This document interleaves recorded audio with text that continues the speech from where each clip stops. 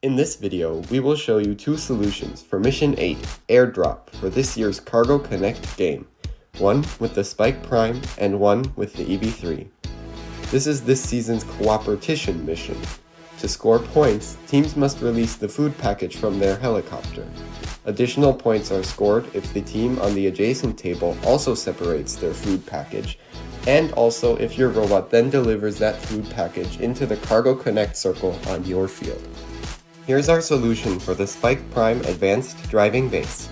For this mission, we again only use the flat sides of the robot to push the yellow lever on the mission model to release the food package.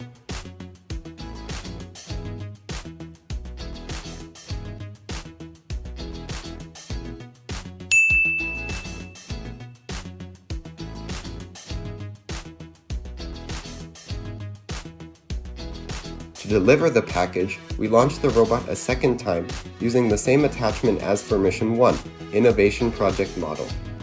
You should plan on this delivery portion of the mission towards the end of the match, ideally together with your Innovation Project Model for Mission 1, because you have to wait for the other team to drop their food package into your home area first.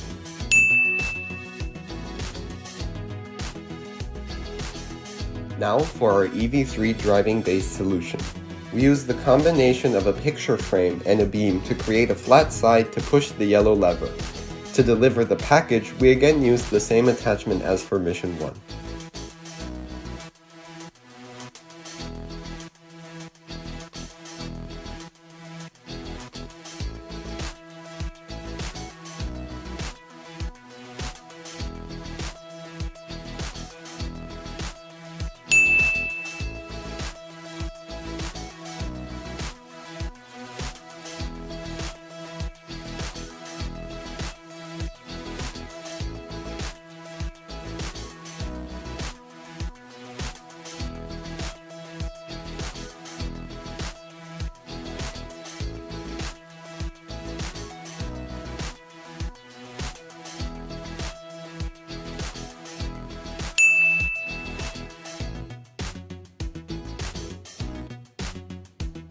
When your robot separates the food package from the helicopter, 20 points are scored.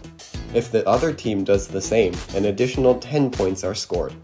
If the food package is in your Cargo Connect circle at the end of the match, an additional 10 points are awarded for a total of 40 possible points.